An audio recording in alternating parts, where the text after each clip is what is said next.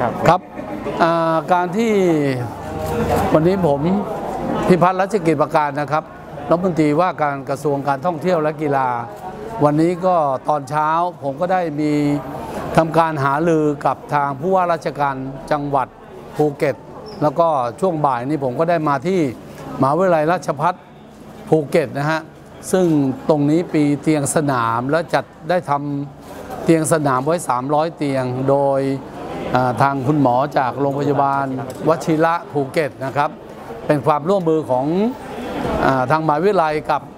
ทางโรงพยาบาลวชิระและทางสสจนะครับ แล้วก็เทศบาลรัศดานะครับที่ให้การเอื้อเฟื้อนะครับในเรื่องของอุปกรณ์ต่างๆ ตรงนี้ ก็ต้องบอกจากการที่ดูพื้นที่แล้วเนี่ยต้องบอกว่าเป็นพื้นที่อะไรฮะโรงพยาบาลสนามที่สวยงามนะครับ ซึ่งพื้นที่ตรงนี้เนี่ยก็วิวก็ดีอากาศสำคัญคืออากาศดี เย็นสบายลมโฟล์มาก คือลมพัดผ่านได้ดีมากเลยครับตรงนี้ วันนี้ก็คณะผมก็มาก็ประกอบด้วยทางการท่องเที่ยวแห่งประเทศไทยนะครับ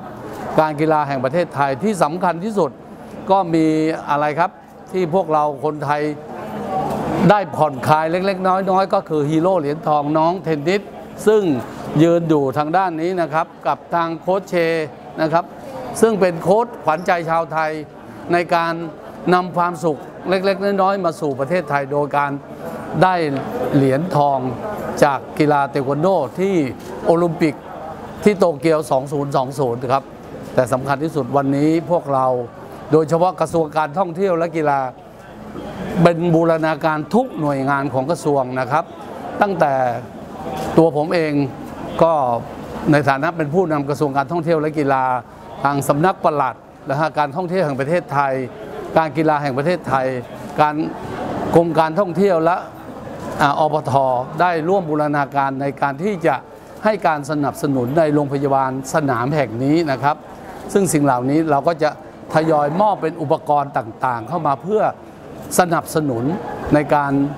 ทำโรงพยาบาลสนามณที่ทางนี้ 300 เตียงนะครับ แต่สำคัญที่สุดก็ต้องขอขอบคุณเจ้าของสถานที่ทั้งอธิการบดีนะฮะครับผมที่ได้เอื้อเฟื้อสถานที่ในการทำโรงพยาบาลสนาม วันนี้ผมคิดว่าคนภูเก็ตทุกคนนะฮะให้ความร่วมมือที่ดีที่สุด โดยเฉพาะท่านผู้ว่าราชการจังหวัด เมื่อเห็นการขยับและการกระเพื่อมของโควิด -19 ก็ได้มีการประกาศไม่ให้คน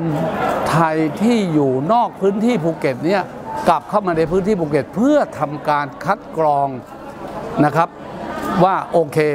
หลังจากปิดตั้งแต่วันที่ 3 ถึงวันที่ 16 เนี่ยก็ท่านผู้ว่ามีความตั้งความหวังไว้ว่า จะคัดกรองได้ทุกคนในจังหวัดภูเก็ต นั่นหมายความว่าเราจะกลับมาสู่ เรื่องของการเป็นภูเก็ตแซนด์บ็อกซ์ที่ใสสะอาดและบริสุทธิ์กว่าเดิม ซึ่งขณะที่เรามีการเปิดภูเก็ตแซนด์บ็อกซ์เนี่ยก็มีจำกัดไว้ว่าถ้าเมื่อไหร่ที่ถึง 90 คน มาตรการที่เข้มข้นขึ้นของจังหวัดก็จะมีมาตรการออกมาเป็นลำดับลำดับไป ซึ่งนี้ก็เป็นมาตรการอันหนึ่งที่ทางผู้ว่าราชการจังหวัดนะครับ ได้กระทำออกมาว่าโอเค ถึงเวลาแล้วตอนนี้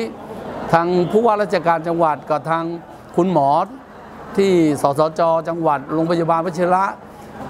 คิดแล้วออกมาแล้วฝ่ายความมั่นคง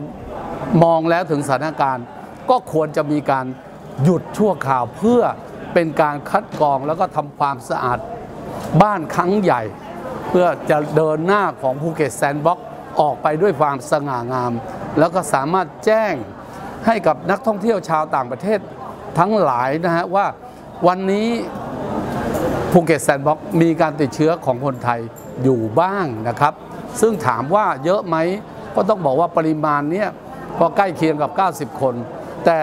ที่มีการติดและมีการประชาสัมพันธ์ลงก็คือ เป็นผู้ป่วยที่อยู่ในสถานที่กักกัน โดยไม่มีโอกาสออกไปแพร่เชื้อ แต่คนที่ออกไปแพร่เชื้อนี่วันหนึ่งต่อวันยังมีไม่ถึง 10 คน แต่เพื่อความมั่นใจและสบายใจของคนภูเก็ต และนักท่องเที่ยว